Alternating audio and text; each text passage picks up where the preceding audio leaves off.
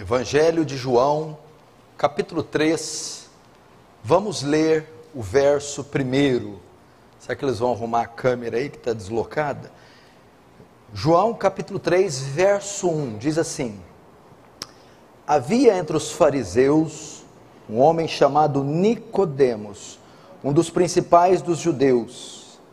Este de noite foi ter com Jesus e lhe disse: Rabi, Sabemos que és mestre vindo da parte de Deus, porque ninguém pode fazer estes sinais que tu fazes se Deus não estiver com ele.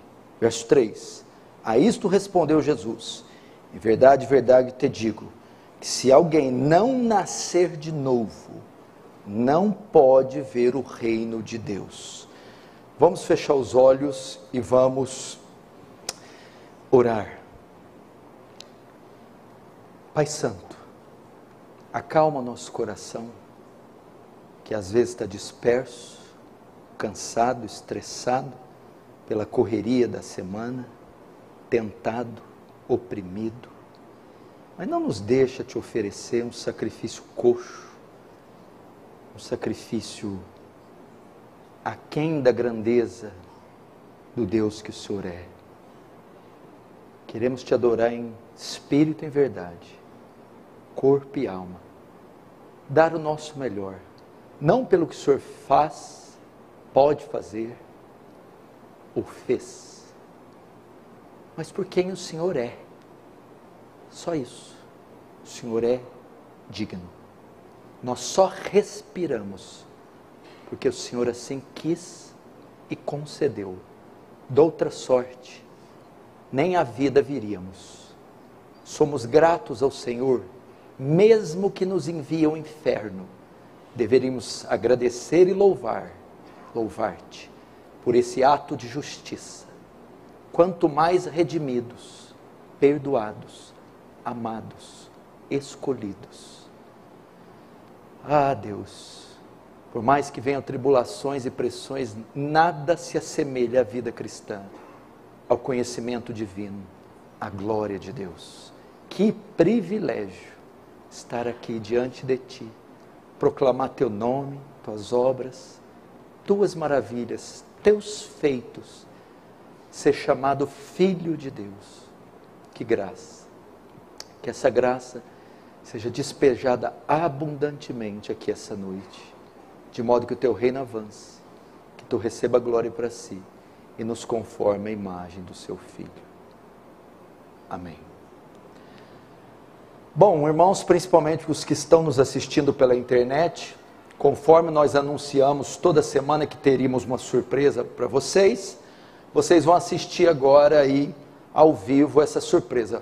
Os técnicos vão soltar o vídeo, vocês vão saber do que se trata. Vamos acompanhar o vídeo. Após quase dois anos de espera, o Defesa do Evangelho apresenta a conferência mais esperada de 2022. Conferência Old School dos dias 25 a 28 de agosto de 2022. Na cidade de Franca, São Paulo. O tema desse ano será o outro evangelho, as ameaças que cercam a Igreja de Cristo. Os preletores desse ano serão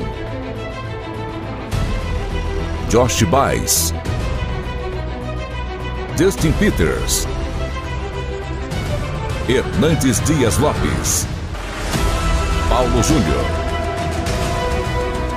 Paul Washer. E também contará com a presença de um dos maiores pregadores da atualidade, o Dr. Steve Lawson. Kill the wolves, instruct and exhort the rebellious. Let them bind and loose, let them thunder, let them lightning, but let them do all things in accordance to the word of God.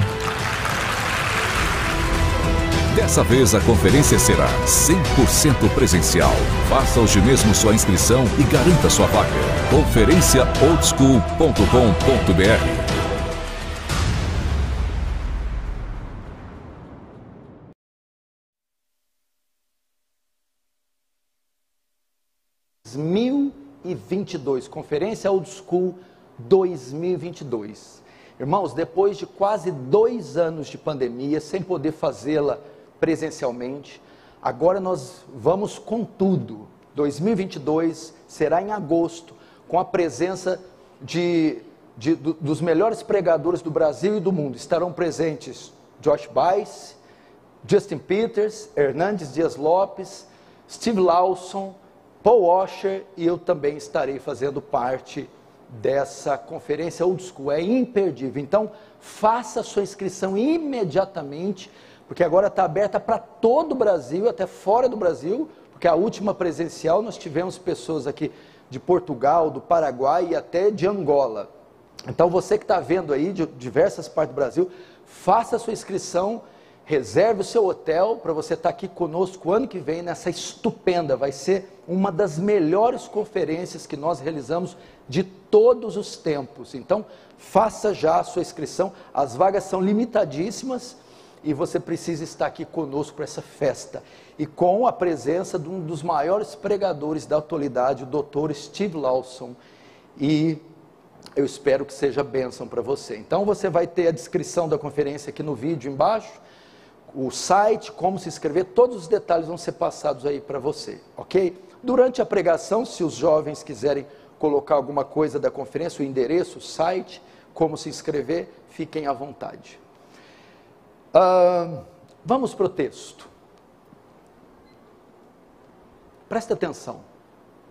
Silêncio agora, eu quero a sua atenção e o temor e tremor. Você sabe que agora é quem esteve em São Joaquim da Barra ontem, está aqui presente e ou está me vendo pela internet, vai ouvir o mesmo sermão que eu preguei ontem. Preguei um sermão ontem em São Joaquim da Barra eu vou repeti-lo, dada a importância e a urgência dele.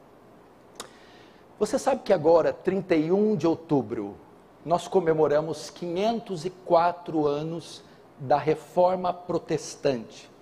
Um ato que foi protagonizado por um padre, um monge da ordem agostinha, Martinho Lutero, que vai protestar contra os abusos da igreja romana, principalmente a venda das indulgências. Mas antes de você saber o que é a reforma protestante, você tem que voltar um pouquinho comigo na história. Porque para haver reforma, tem que haver uma deforma. Para haver uma deforma, tem que haver uma forma. Se você voltar comigo no período intertestamentário, que vai de Malaquias a Mateus, de Malaquias, o último profeta, o último livro do, do Velho Testamento, a Mateus, o primeiro do Novo, nós temos um período de 400 anos 400 anos sem Deus falar com o seu povo, sem Deus enviar profeta. Esse período é chamado intertestamentário. Quem governava na época era o Império Greco-Macedônio de Alexandre o Grande. Com a morte dele, o seu reino se divide com seus generais, os Ptolomeus e os Seleucidas. É então que, um século antes de Cristo, outro império dominante cresce, domina toda a terra, o Império Romano. E é nesse período, em, como diz em Gálatas 4,4, na plenitude dos tempos, vem Jesus, nascido de mulher, instaurar o seu reino. Ele vem prega o evangelho do reino, vive uma vida sem pecado, observa toda a lei, morre, ressuscita no terceiro dia. 40 dias depois da sua morte, ele sobe aos céus, então o Espírito Santo é enviado, é derramado é, em um cenáculo onde os discípulos estavam orando. Nesse, neste período, ou neste ato da descida do Espírito Santo, é inaugurada a igreja de Cristo, em Atos capítulo 2. E cumprindo-se o dia de Pentecostes, estavam todos assentados no mesmo lugar. De repente, veio do céu um vento veemente impetuoso e encheu todo aquele lugar. E todos foram cheios do Espírito Santo.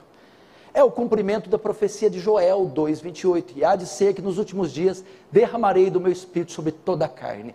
Ali, em Atos 2, no cenáculo, com mais ou menos 120 discípulos de Jesus, mais os, os 11, nasce a igreja de Cristo.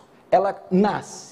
Em Atos 2,42, ela vai tomar a sua forma.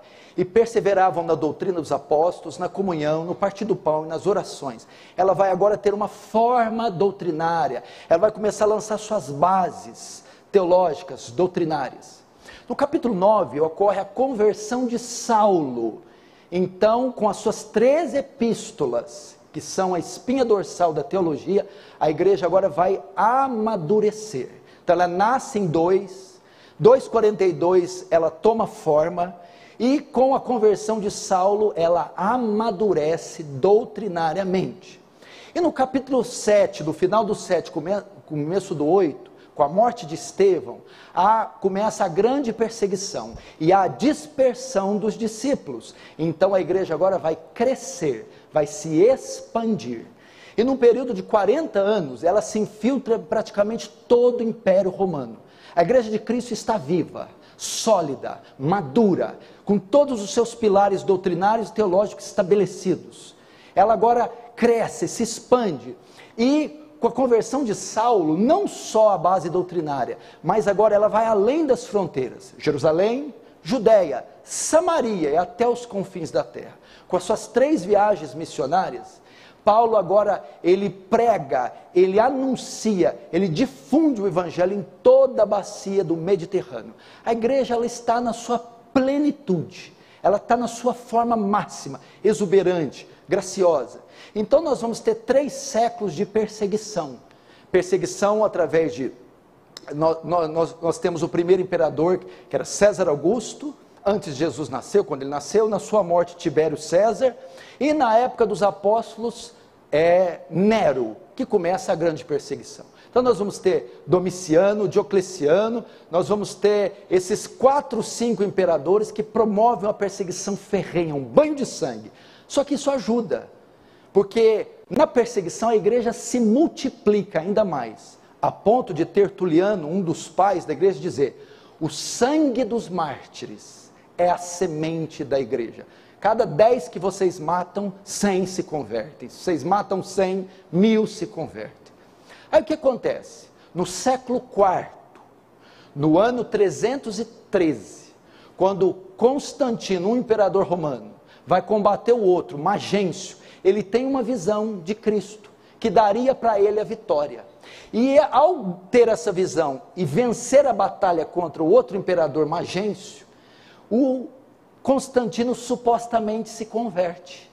E ao se converter, ele declara a religião oficial do império, o cristianismo, e faz a união espúria de Estado e igreja. Então, no século IV, a partir dessa data, a igreja começa a perder a sua forma, ela começa a se deformar.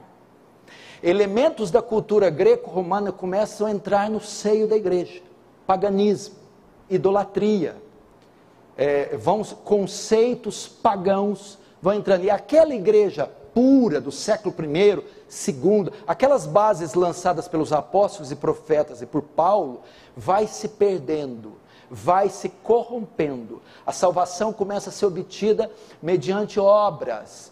E a igreja de Cristo, ela vai é, se afundando em heresias.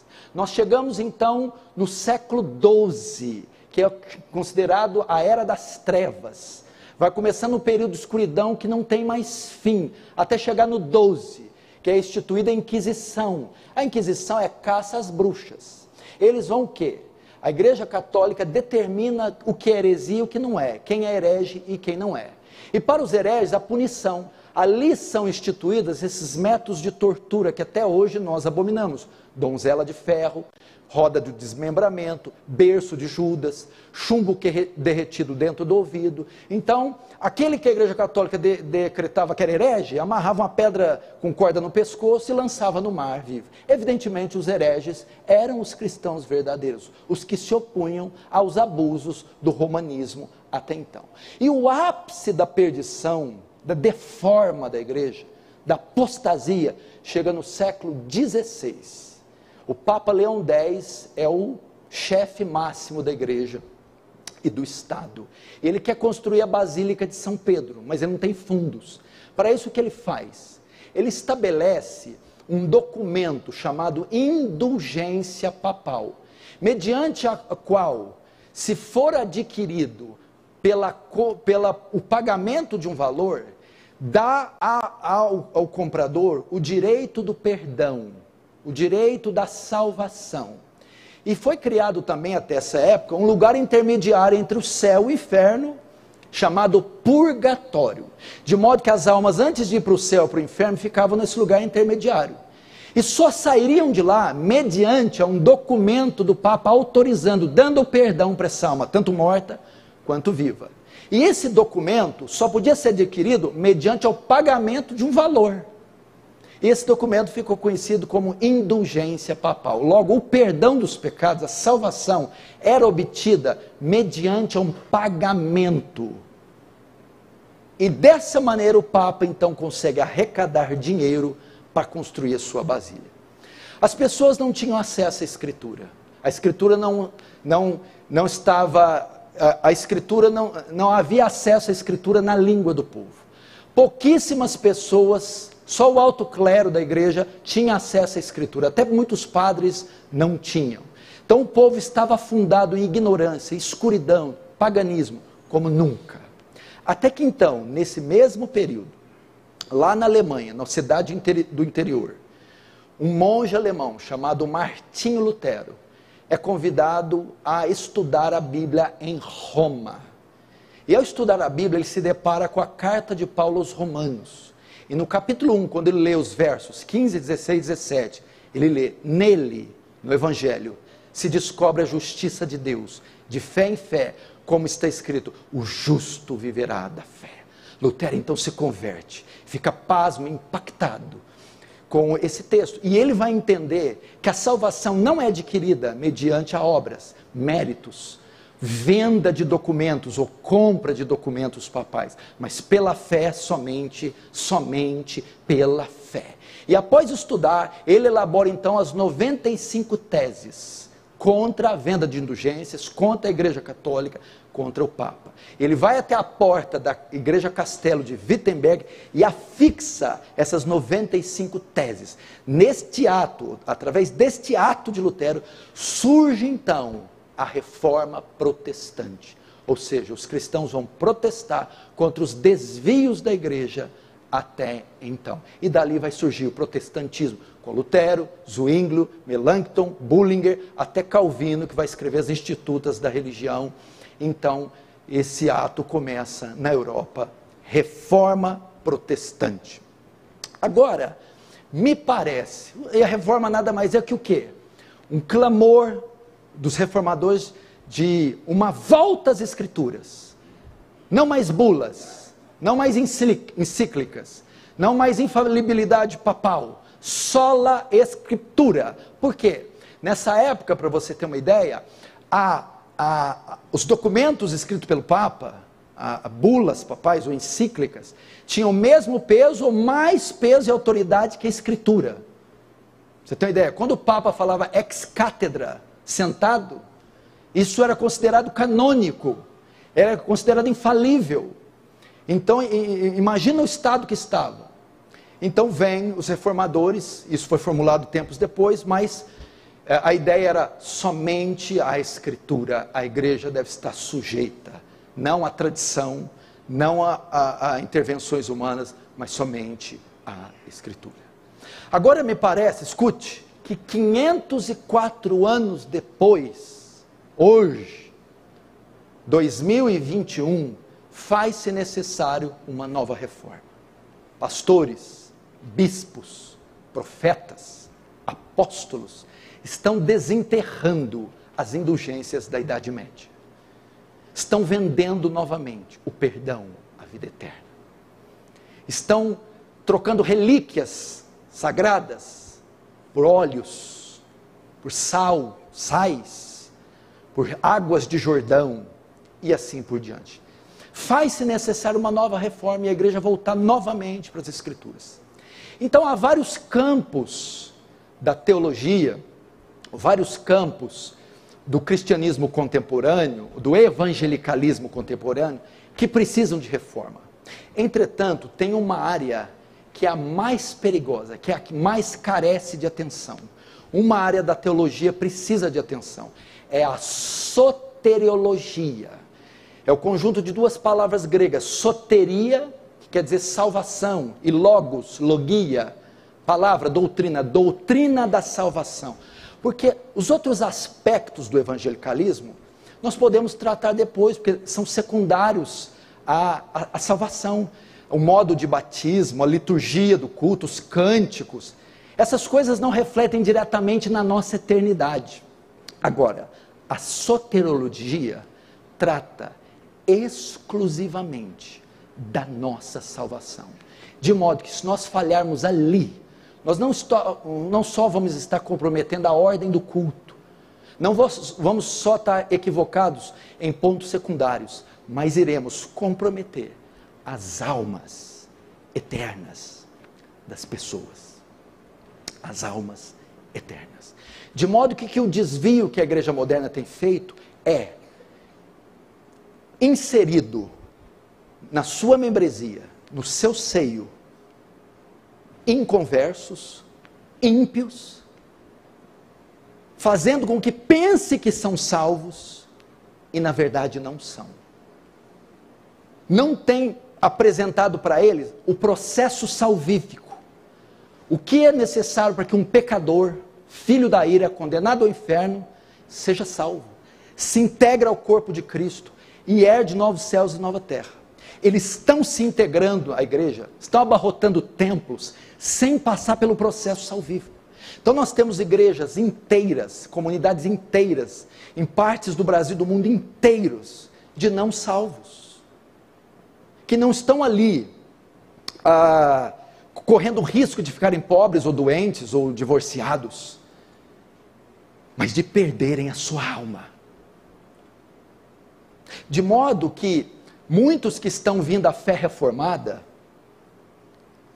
Muitos que eram arminianos estão se tornando calvinistas, eram pentecostais se tornando tradicionais, estavam em heresias, centros de umbanda evangélicos, bruxaria, gospel, coisas assim bizarras. E agora professam a fé reformada. Isso não te garante a vida eterna. Isso não significa que você é salvo. Você só adquiriu um conhecimento novo. Você está numa igreja herege e vir para uma bíblica não significa que você foi salvo. Porque o, o processo que leva alguém à salvação não é aprender doutrinas novas, nem trocar de igreja. E muita gente está fiando a segurança da salvação porque trocou de igreja, porque trocou de credo religioso, porque trocou de doutrina.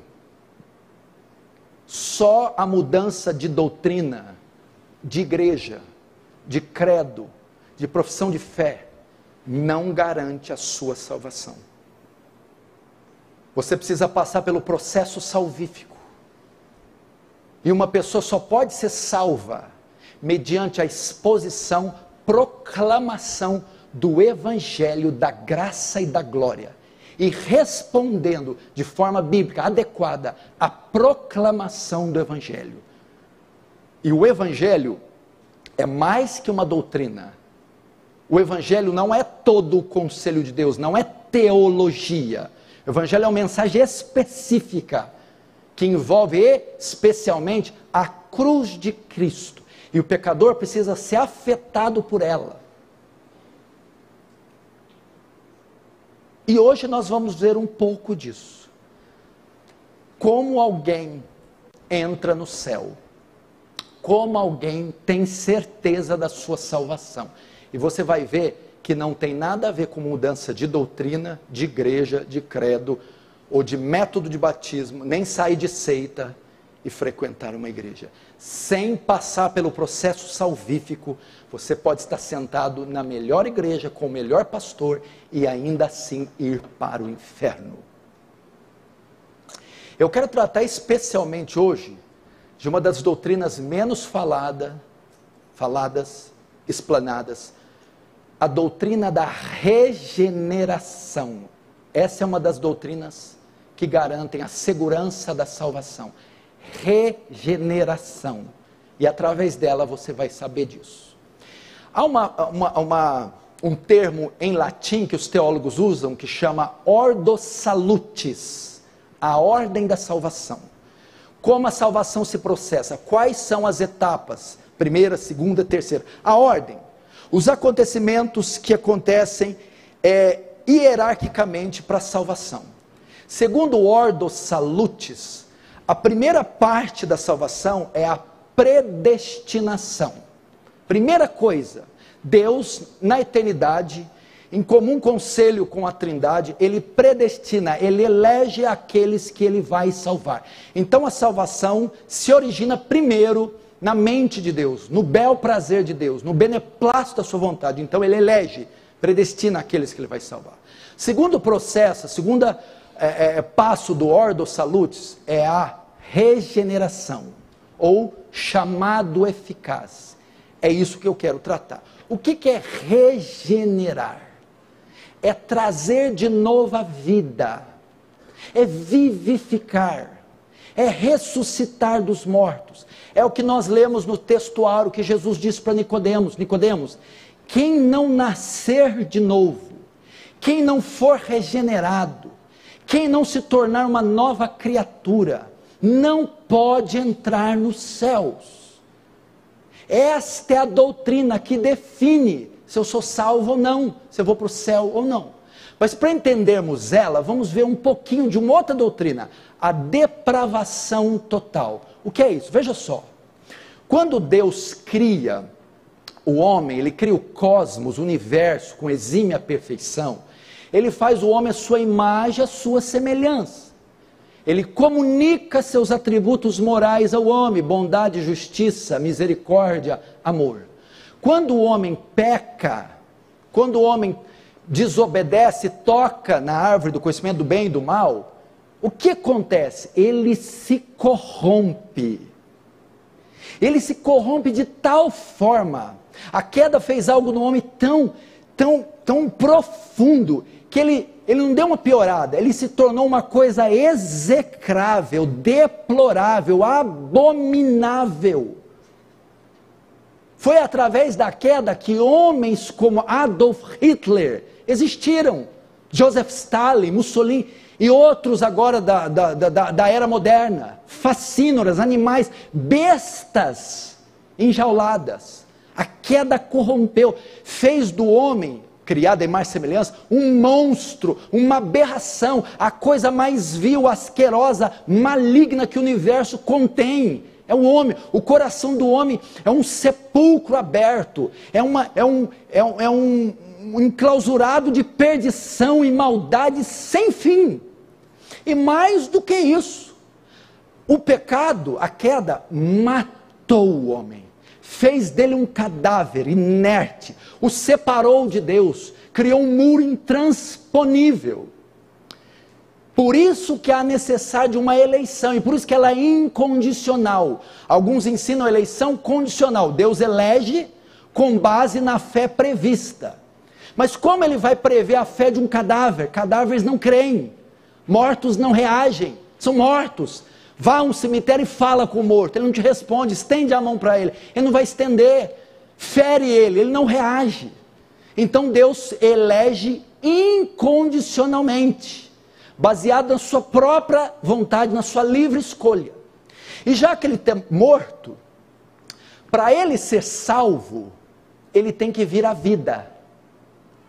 Está morto, o pecado matou. Você anda aí pela rua, o que, que você vê? mortos vivos. Estão vivos fisicamente, mas mortos espiritualmente. Estão mortos. De modo que a primeira coisa que tem que ser feita após a eleição é a regeneração. Trazê-los à vida. Regenerá-los. Fazê-los novas criaturas. Quem opera essa obra? Ela é uma obra da onipotência divina. É uma obra que não compete ao homem, ela não, ela, essa obra, esse poder não existe em campo terreno, esfera terrena. Não há nenhum mecanismo no universo capaz de regenerar um homem, capaz de ressuscitar um homem, capaz de salvar um homem. Essa é uma obra do céu. Por isso que fala, Jesus fala, quem não nascer do alto, é do céu.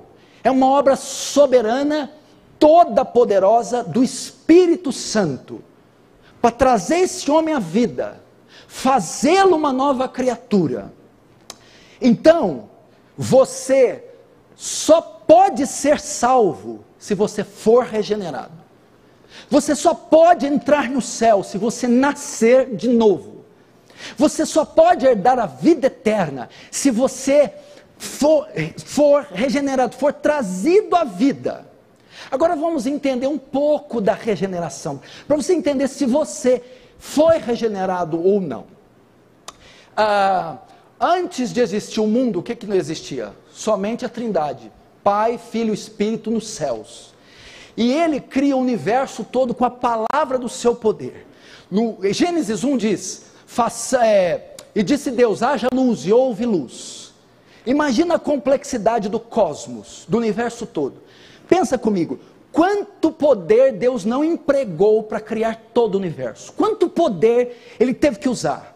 Os estudiosos dizem que Deus criou o universo através de uma palavra latina, do ex nihilo, que quer dizer do nada. Do nada ele criou corpos celestes, do nada o sol, a lua, as estrelas, do nada os oceanos. Pensa quanto poder, quanto poder para sem nada criar só um homem, só um homem, só você tem 60 trilhões de células dentro de você. Cada célula tem uma fita DNA de 1,72m. Se você amarrar uma fita DNA na outra, você tem 102 bilhões de quilômetros de fita DNA só dentro de você. Quanto poder para do nada fazer só um homem. Veja os oceanos, Atlântico, Índico e Pacífico. Você já imaginou quantos litros de água tem no todos os oceanos da Terra? Você tem a ideia de milhão. Mas vamos lá: um milhão, um bilhão, um trilhão, um quatrilhão, um quintilhão, um sextilhão, um septilhão, um octilhão de litros de água. Como é que Deus cria isso do nada? Do nada. O universo. Você sabe que o universo não é infinito. Infinitude é um atributo que só Deus tem. Mas alguns estudiosos calculam que o universo tem mais ou menos 90 anos, no, é, tem 90 bilhões de anos-luz de diâmetro. Significa que você pegar uma nave espacial, a velocidade da luz, 360 mil quilômetros por segundo, e viajar de uma ponta do universo a outro, nessa velocidade, vai levar 90 bilhões de anos para chegar. Deus cria isso do nada. É sabido já que existe mais estrelas nos céus do que grãos de areia de todos os mares, de todas as praias do mundo inteiro. Quanto poder Deus não usou. Tente você, sem nada, criar essa folha de papel. Sem nada. Eu te dou cinco minutos para fazer, sem nada, criar isso aqui. Imagina quanto poder, quanto, pensa. Agora escute aqui, olhe para mim. Na obra da salvação, para salvar um homem só, para regenerar um pecador, a obra da regeneração que eu estou pregando, para regenerar um homem, o poder que ele emprega para regenerar um homem é maior que o poder que ele empregou para criar todo o universo. Porque o universo ele cria a partir do nada, universo perfeito. Para salvar o homem não, não é a partir do nada é a partir de uma massa caída em Adão, de um ser execrável, deplorável, e ele tem que refazê-lo à imagem de Cristo, de forma que o poder para salvar, regenerar um homem, é maior que o poder que ele usou na criação de todo o universo. Pergunta: esse poder alcançou você?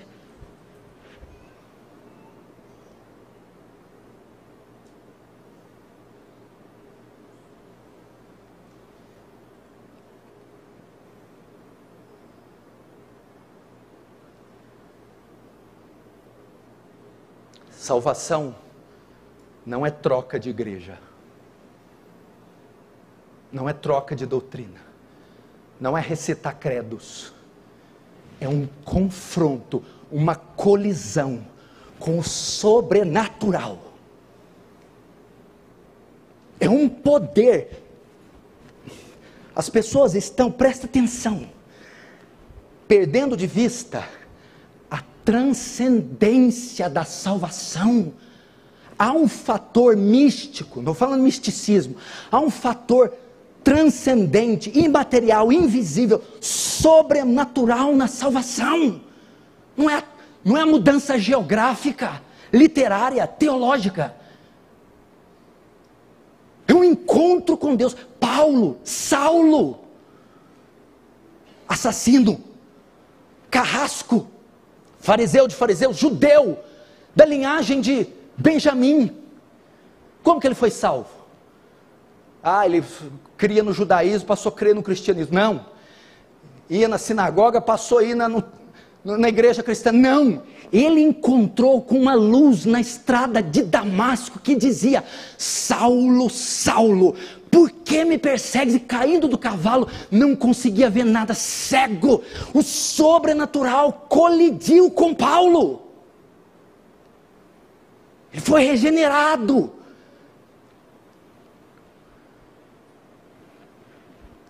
Houve essa colisão com você? Houve? Estamos esquecendo disso. É uma mudança. E aí tem os efeitos da regeneração. O que é regeneração? Você poderia definir ela mais ou menos como uma metamorfose. O que é a metamorfose? Presta atenção, escuta. Sua vida pode estar dependendo do que está sendo pregado aqui. Você pega uma borboleta. Antes de borboleta, o que ela é? Uma lagarta cilíndrica, mucosa, pegajosa, amarronzada. Ela entra no casulo e ela não sai de lá uma lagarta agora colorida, agora com pelinho, ah, uma anteninha. Não, não, não, não. Ela sai de lá um outro animal completamente diferente, uma borboleta colorida que voa, uma transformação radical. Conversão não é uma melhoradinha, não é uma mudança do vocabulário, é uma transformação radical. Eu me transformo, eu me transformo em um outro ser. As pessoas estão melhorando, estão vestindo a capa de alguma religião. O que Paulo fala aos Coríntios, segundo os Coríntios 5,17, aquele que está em Cristo, nova criatura é. As coisas velhas passaram, e eis que tudo se fez novo. Morreu o velho homem, morreu aquelas características, morreu a vida de pecado, morreu a maneira de pensar, morreu, foi sepultado, trucidado, enterrado, e um novo homem ressurge pelo poder ressuscitador de Cristo.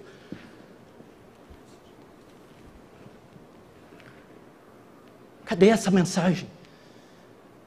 As pessoas estão dando falsa segurança de salvação. Primeiro, no meio carismático, que não há doutrina nenhuma e as pessoas são integradas ao hall de membro por recitar alguma coisa. Estão lá, sem ter uma noção sequer do Evangelho, uma noção sequer da doutrina da segurança da salvação, estão sendo admitidas, uma vez que não são. E as outras do lado tradicional, reformado e calvinista também, está sendo omitido está sendo lançado, jogado para eles uma série de, uma série de doutrinas para que eles uh, aprendam, se aperfeiçoem, decorem, mas não estão sendo expostos à verdade transformadora do Evangelho, dando a ambos os lados falsa segurança de salvação.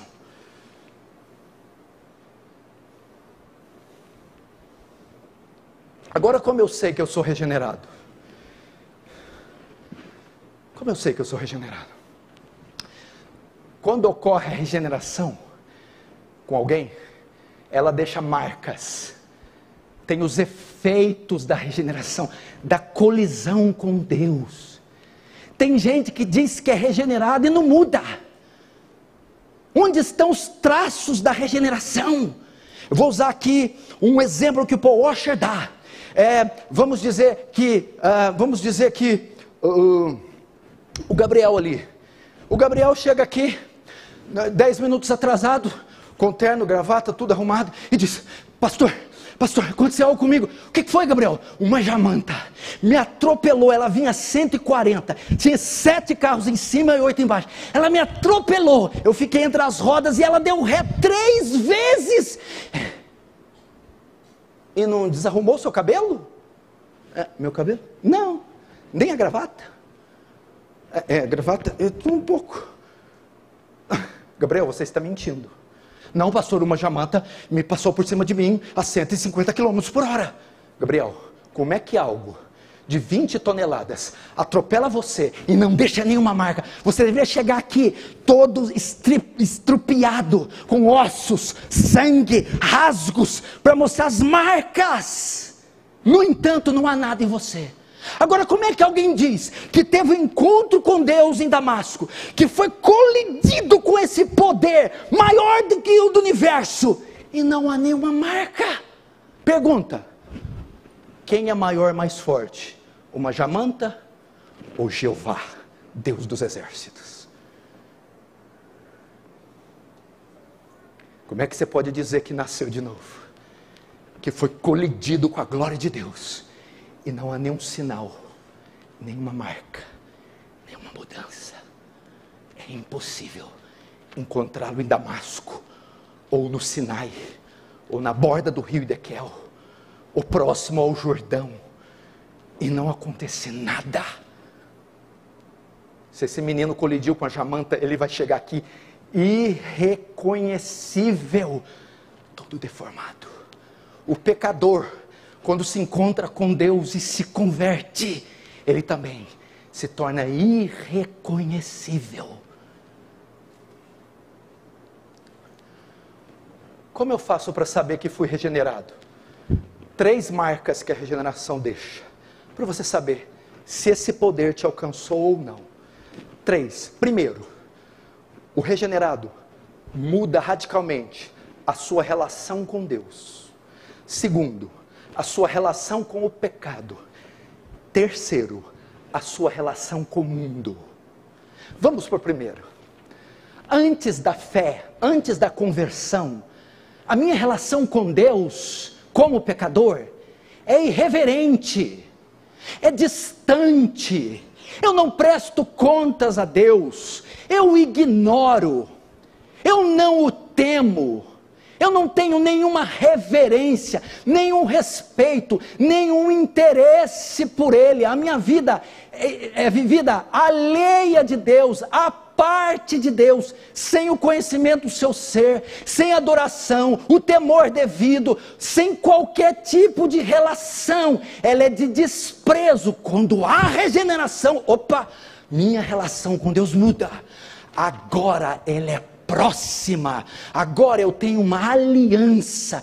Tudo que eu faço passa por Ele. Eu temo a Ele, eu adoro a Ele, eu reverencio a Ele. Agora eu tenho um relacionamento próximo, eu ando com Ele como Enoque andou, eu presto contas a Ele, Ele é parte do meu ser, de modo que tudo que o interessa, me interessa, tudo que o entristece, me entristece, tudo que o alegra, me alegra. Agora eu sou submisso à Sua vontade completamente. Sua relação com Deus mudou? Segundo, a minha relação com o pecado. Antes da regeneração, como é que é a relação com o pecado? O pecado é meu estilo de vida. Eu peco com prazer, eu peco com frequência. O pecado me dá alegria, o pecado faz parte da minha rotina. Eu tenho uma, um estilo de vida marcado pela iniquidade. Ela não me causa nenhum temor, nenhuma reação. Eu a cometo deliberadamente. Não há nenhum peso na consciência nenhuma reação. Quando ocorre a regeneração, opa, a minha relação com o pecado muda. Primeiro, o pecado não é mais motivo de alegria, é de tristeza. O crente cai, cai. O crente peca, peca. O crente ama pecar, absolutamente. Ele tem tristeza. Agora a vida, o estilo de vida não é mais pecado. Ele agora peca acidentalmente. Ele tem uma vida marcada pela justiça e não pela iniquidade. Agora ele não peca deliberadamente, ele peca não querendo pecar. Ele pega por uma queda, um deslize. E se ele peca, cai em profunda tristeza Primeiro, ele peca sem querer pecar. Segundo, o pecado que era alegria é tristeza. Terceiro, ele não programa o pecado, ele é acidental. Quarto, não é mais estilo de vida. Terceiro, quando há regeneração, antes da regeneração, terceiro, com o mundo, antes da regeneração, o mundo quando fala mundo, é esse sistema de crenças e valores regido pelo diabo, pelo anticristo. Antes do pecado, eu seguia o curso, os padrões, os valores ímpios, pagãos, me deleitava neles minha roda de amigos era ímpia, meus costumes, meu pensamento, minha visão, como eu empregava minha vida, era segundo o conceito desse mundo. Quando há regeneração, há uma ruptura entre eu e o mundo, há uma, há uma separação, de forma que agora não são os conceitos do mundo que me conduzem, a vestimenta, a educação dos filhos, o casamento, agora são os conceitos da palavra, é a palavra que me dirige, que me conduz, eu estou sujeito aos mandamentos e não mais ao mundo. Minha roda de amigos muda, a maneira que eu visto muda, meu vocabulário muda, como eu olho uso o dinheiro muda a visão que eu tenho de vida, a visão que eu tenho de mundo muda. Você quer ver uma outra ilustração? Para você entender a regeneração? Suponhamos que você volta comigo lá na Palestina na época de Jesus. Nós vamos para uma região agropastoril. Tem um pastor lá cuidando de 40 ovelhas. 40 ovelhas ele cuida e ele põe num aprisco que vai dormir de noite das montanhas desce um lobo de 150 quilos, sorrateiro, as presas afiadas, olhos vermelhos e a baba descendo. E ele então, a dois metros do aprisco, avança e ele destrói, devora duas ovelhas, as estilhaça com aquela natureza assassina e as arregaça e as devora, esmiuça nas suas presas e sobe para a colina. O pastor acorda de manhã, chama elas, vê a falta de duas, então ele vê sangue, vê lã. Um lobo entrou aqui. Meu Deus, eu tenho que preparar uma armadilha para não pecar o restante da, da rebanho. Então ele prepara uma armadilha, uma arapuca, próximo ao rebanho, e vai se deitar. À noite ele desce de novo. E antes dele pegar a próxima ovelha, a armadilha dispara, prende ele pastor então vem de manhã e pega e o coloca dentro de uma jaula. A jaula fica dois metros do aprisco. O lobo está lá. Ele não mata mais ovelha, não assassina mais ovelha, não estilhaça mais ovelha, porque tem uma jaula prendendo ele. Mas ele ainda é um assassino, lobo, de modo que se aquela jaula abrir, ele estilhaça.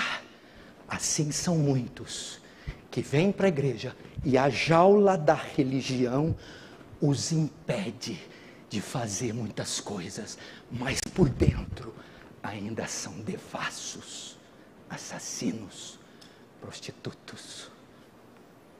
O lobo está lá, ele não mata mais, mas ele ainda é lobo.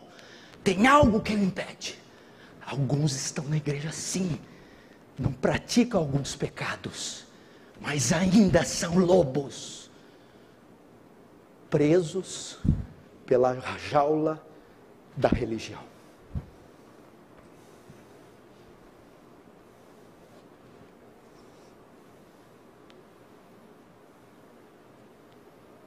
Houve mudança na sua vida nessas áreas? Você quer ver isso? Sem demora. Jeremias 32. 31, rapidinho, voando. Jeremias 31. 31. Você vai ver a obra da regeneração prometida nos profetas. Olha a obra da regeneração escrita aqui. Não fala de conceito, de doutrina, fala de uma obra sobrenatural. Veja só, Jeremias 31. Jeremias 31 verso 31. Põe na tela aí, fazendo favor, Jeremias 31, 31. Por favor.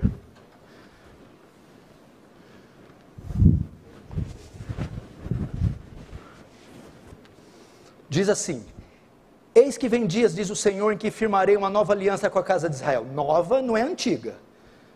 E com a casa de Judá. 32. Não conforme a aliança que fiz com seus pais. Que aliança que fez com os pais? É a do Sinai, a das tábuas de pedra, é a de Moisés. No dia em que tomei pela mão para os tirar da terra do Egito. Porquanto eles anularam a minha aliança, não obstante eu os haver desposado, diz o Senhor. Verso 33. Porque esta é a aliança que firmarei. Está falando de uma nova aliança com a casa de Israel. Depois daqueles dias, diz o Senhor. No que consiste essa nova aliança? Olha lá. Na mente lhes imprimirei minhas leis. Como é que imprime lei na mente? Regeneração. Veja só. E também no coração las escreverei. Como é que escreve algo em coração? É uma linguagem para dizer de regeneração. Veja só também no coração escrever: Eu serei seu Deus, eles serão meu povo. 34. Não ensinará jamais cada um seu próximo, nem cada um seu irmão, dizendo: Conheça o Senhor, porque todos me conhecerão. Uniformidade dentro da igreja.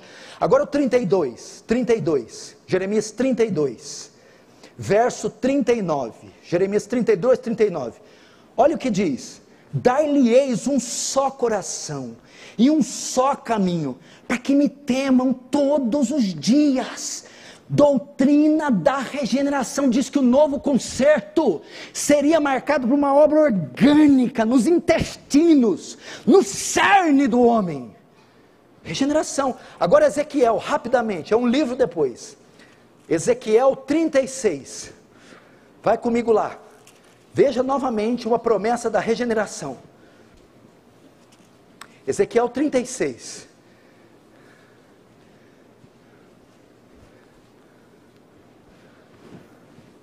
Verso 24. Diz assim: Tomar-vos-ei de entre as nações. O que, que é isso? Vou tirar vocês do mundo. E vou fazer o quê? 26 dar-vos-ei coração novo, e porei dentro de vós espírito novo. O que, que, é isso? novo nascimento, regeneração. Olha só. Tirarei de vós o coração de pedra, um coração morto, de Adão, insensível, e vos darei um coração de carne, um novo homem. Verso 27: Porei dentro de vós o meu espírito, e farei que andeis nos meus estatutos, e guardei os meus juízos, e os observeis. Está aqui. É essa a promessa que ele fez da nova aliança. Ela é interna, ela consiste no sobrenatural, e há uma mudança radical naquele que foi regenerado.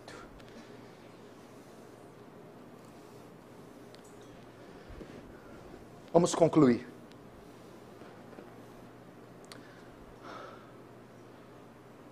Pastor,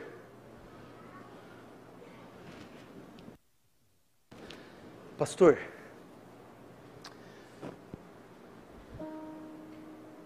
o Senhor me convenceu.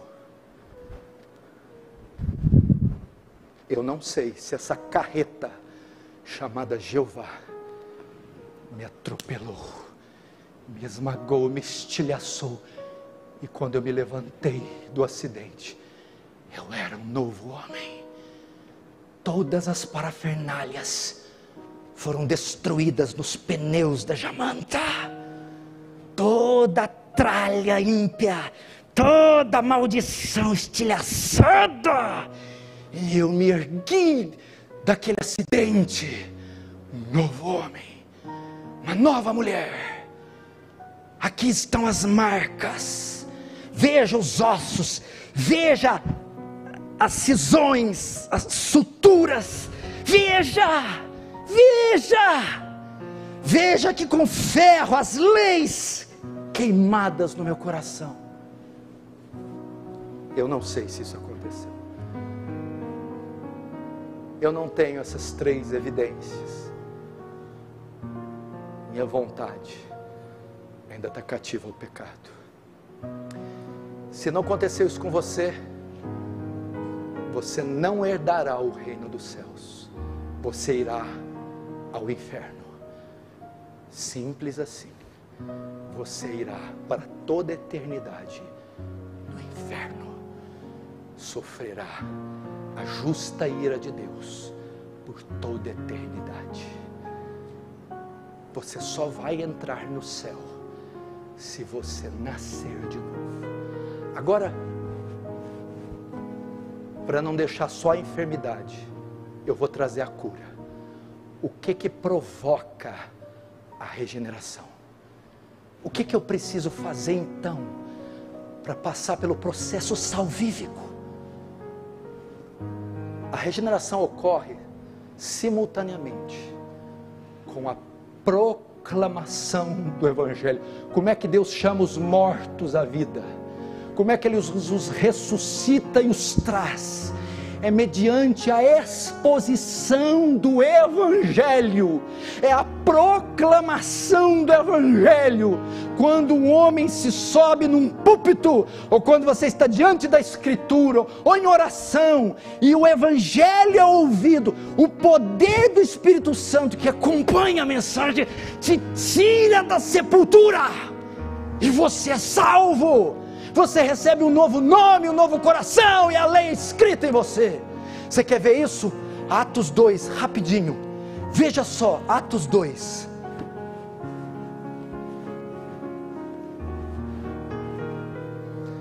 Atos 2, verso 14. Atos 2, 14. Olha só. Então se levantou Pedro com os onze, erguendo a voz, advertiu nesses termos: varões judeus e todos habitantes de Jerusalém, tomai conhecimento disso e atentai nas minhas palavras. Aquele pregou, ao resultado, 37, Atos 2, 37. Ouvindo ele estas coisas, compungiram-lhes o coração. O que, que é isso? Regeneração eles se contorceram, algo interior foi trazendo uma convulsão. E o que que trouxe isso? A pregação de Pedro, a vera pregação do Evangelho, pegou três mil cadáveres e os botou de pé. É o Evangelho. No que consiste o Evangelho? Cristo veio ao mundo, se fez carne obedeceu toda a lei de Deus e morreu numa cruz baixo maldição, levando o nosso pecado, levando o nosso pecado, levou nossa culpa, levando nossa culpa, tem que pagar pelo pecado, e ele paga com a sua própria vida, como um, como um sacrifício substitutivo, no alto do madeiro, as demandas da justiça divina têm que ser satisfeitas. Nosso pecado é lançado na conta de Cristo. Então o Pai o esmaga, despeja sobre ele a sua ira. Cristo morre como um cordeiro, o cordeiro que levou nossos pecados. Agora, como eu faço para saber que o sacrifício de Cristo foi suficiente? Como é que vai para saber que ele salvou seu povo? Como é que faço para saber que Deus aceitou o sacrifício? No terceiro dia, ele ressuscita dos mortos, comprovando que o seu sacrifício foi suficiente e que o Pai o aceitou. Jesus pagou o preço por mim, por você, na cruz, morreu a nossa morte para vivermos sua vida. Sofreu as punições da lei, o castigo que estava, que era para nós foi proposto para ele. Agora, qual é a resposta que eu dou à mensagem do Evangelho? Tem esse passo ainda: arrependimento e fé. Só apresentar a vacina não significa que você está curado, você precisa tomá-la. Como? A resposta que você dá a uma pregação dessa é se arrependendo e crendo. Arrependimento e fé são as ferramentas necessárias para eu dar a obra da graça chamada salvação. O que é arrependimento? Você pensa num sentimento. Hum, me arrependi de ter falado aquilo ontem. Não é se arrepender de um ato, é se arrepender de um estado. Não é se arrepender do que você fez, é se arrepender de quem você era. Se arrependa do homem que você foi até o presente dia. Se arrependa da mulher que você foi, do seu estado, da maneira que você viu o mundo, as pessoas, o pecado, Deus. Se arrependa significa volte as costas. Se arrependa do seu estado, da sua condição, de quem você foi toda essa vida. Segundo, fé. O que é fé? Eu creio no nosso Senhor para a cura desse caroço. Não, não é essa fé. Fé é confiança depositada nos méritos de outro. É dizer, eu sei que sou mau, mereço o inferno, que minhas obras não servem para nada, mas lanço toda a minha esperança de ir para o céu, não na minha bondade, mas na de outro, não nas minhas obras, mas na de outro, não nos meus méritos, mas no de outro, a saber, Cristo Jesus. E nessas obras, nesse mérito, eu descanso, eu repouso a minha fé, eu lanço a minha confiança. Se assim você responde, o martelo do céu é batido, e no tribunal de Deus você é declarado legalmente justo. Está salvo. Passou da morte para a vida, não entra mais em condenação. Feche os seus olhos, curva a sua cabeça agora.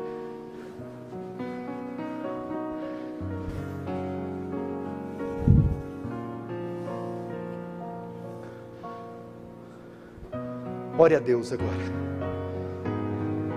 Se eu estivesse falando do teu carro, você poderia me ignorar.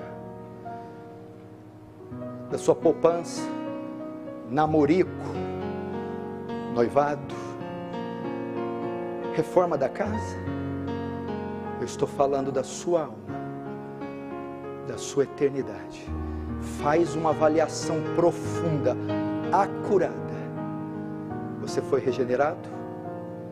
Se você não foi, clame a misericórdia divina agora. Agora. Agora. Diga: salva-me.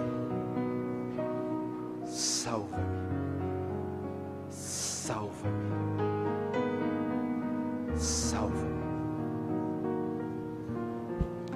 Vamos encerrar a transmissão agora. Agora o culto é só para nós aqui. Continua orando. Após quase dois anos de espera, o Defesa do Evangelho apresenta a conferência mais esperada de 2022. Conferência Old School. Dos dias 25 a 28 de agosto de 2022. Na cidade de Franca, São Paulo, o tema desse ano será o outro evangelho, as ameaças que cercam a Igreja de Cristo. Os preletores desse ano serão Josh Baez, Justin Peters, Hernandes Dias Lopes, Paulo Júnior, Paul Washer. E também contará com a presença de um dos maiores pregadores da atualidade, o Dr. Steve Lawson. Kill the wolves, instruct and exhort the rebellious. Let them bind and loose. Let them thunder. Let them lightning. But let them do all things in accordance to the Word of God. Dessa vez a conferência será 100% presencial. Faça hoje mesmo sua inscrição e garanta sua vaga. Conferênciaoldschool.com.br